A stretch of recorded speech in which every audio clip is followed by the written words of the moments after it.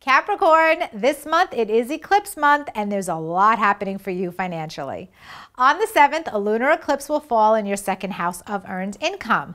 It doesn't mean that you're going to have a financial loss. It actually can be very fulfilling.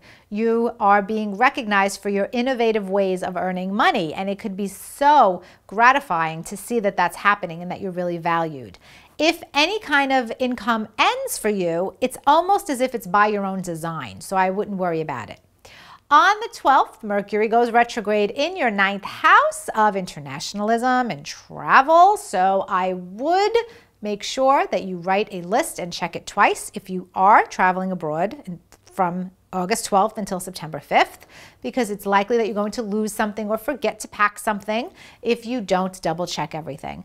Also expect delays with any kind of broadcasting or publishing matters. Finally, on the 21st, a solar eclipse will fall in your eighth house and you are benefiting big time from someone else's resources. Lucky you.